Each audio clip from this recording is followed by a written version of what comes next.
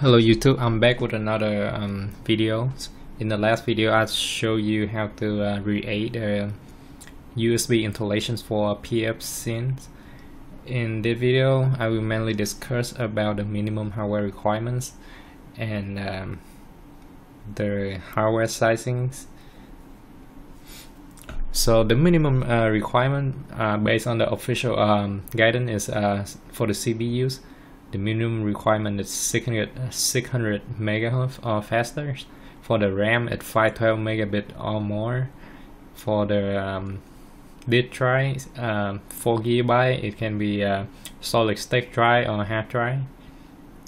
Uh, my recommendation is use a solid state drive because it's fast, reliable, and uh, it save power.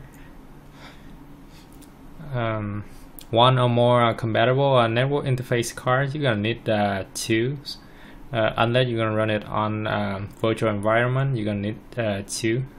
One for um, at least two. One for um, WAN or um, wide area networks, and uh, the other one for LAN or local area networks. you're gonna need a bootable USB. Um, basically, to use to install pfSense on the um, hardware that you choose to uh, use or CD, DVD, ROM for the initial installations. Next, let's talk about the uh, hardware selections and uh, hardware sizings. So for hardware sizing, it depends on uh, how many device um, gonna be on your network. That really depends for most home users. The basic minimum requirement or a little bit higher than the basic minimum requirement should satisfy um, the requirement. And also the throughput considerations and other factor to uh, consider is uh, the VPN um, it depends on uh, what type of uh, VPN protocol you be using. The most popular one at OpenVPN if you know uh, for those who mm, use OpenVPN before uh, they is CPU intensive they use a lot of CPU power to encrypt decrypt. So if you plan on using OpenVPN on your pfSense box then I suggest you should look for the the one that have a AES and ICE um, advanced encryption standards, new instructions. If the CPU support hardware encryptions, it's gonna speed up the process of uh, encrypting and decrypting. That definitely affect your throughput for um, the network. And uh, another factor to consider is uh, the package you're gonna be using. Snort Suricata for um, uh, IDS, um, IPS, intrusion prevention system or intrusion detection system. Uh, Suricata and Snort they use a lot of RAM.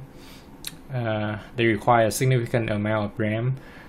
The minimum requirement uh, just not gonna. Uh, you you're just not gonna be able to run it on with the minimum requirement uh, I think uh, the minimum requirement to uh, run Snort and Suricata should be a 4 gigabit RAM at least and up optimize at uh, 8 gigabyte of RAM.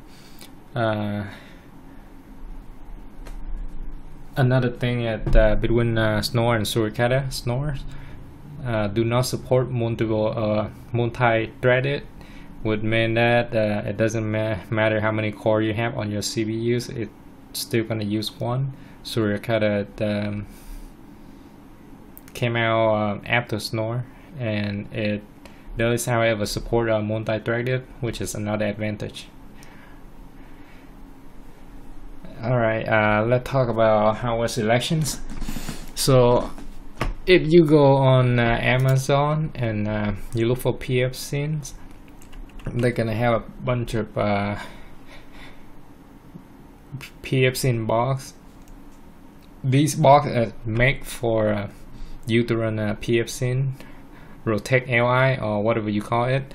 Uh, these guys actually manufactured in uh, California. So if you local in uh, Southern California, you can actually go there and pick up from their local store. If not, you can order from Amazon. It expensive in my opinion, but you get what you pay for. It quality. Uh, I seen it before. I tested it out and it worked great. Um, so, why you? Um, you can get a cheap old PC probably like for hundred or two hundred dollar and you can run pfSense on it but why do I would rather to pay for um, this device compared to running on an older uh, PC most older PC uh, power supply is 240 watt. And remember that the pfSense box gonna be running like 24 over 7 because you be using it as a firewall and router for me. I using it as a combination of a firewall and a router. So yes, it's gonna be constantly on and it's gonna be using a lot of power. Unless uh, electricity is not a factor, then yes, you can get the older PCs. So all the boxes, uh, they have different configurations. It depends on your need, what you're gonna run on your network. Um, if you just need like basic uh, filter out all the advertise you don't want to see, filter out all the website that you don't want your kid to go to, um, then just use the minimum requirement. It should work. Uh, if you have a lot of device on your network, then pick the one that have uh, at least like uh, multiple um, multiple core uh, for the CPUs and if you plan on using a VPN open VPN then pick the one with the AES-NI for the RAM. Once again if you gonna be uh, monitor your network uh, using uh, all the package for uh, intrusion detection intrusion prevention system then you're gonna need a lot of RAM. Uh, at the minimum I think at 4 gigabyte is good or uh, at least uh, at least 4 gigabyte and uh, at optimize as 8 gigabyte. Or uh, you can go with uh, another option is uh, buy one of those uh, small platform PC uh, this is the one actually the one I have at home the Dell Optiplex 7010 it uh it comes with the i5 multiple core uh, core. 8 gigabyte of RAM and 250 gigabyte of uh, disk drive. However uh, I replaced the um, hard drive with the SSD I think at the for the SSD 120 byte SSD is good enough to uh, run the pfSense on uh, unless you do a lot of intensive um, and you want to keep track of all the log or the you're gonna capturing a lot of packets then uh, 120 gigabyte is more than enough. And uh, to run it on the all uh, small platform PC you're gonna need at least uh, two network interface card which is one I'm gonna use one uh, the the WAN for the onboard one and LAN. I can um, use this with the Intel uh, Pro 1000s you can get these on uh, Amazon on eBay. They're pretty cheap. Uh, I seen people run uh, pfSense on the virtual environment or on the PC gaming it's not recommended to guys because the PC gaming it decide to use a lot of power on the C uh, on uh, I think I think most of um, the gaming PC the PSU at least a 650 watts and you'll be leaving it on 24 over 7 that's a lot of electricity.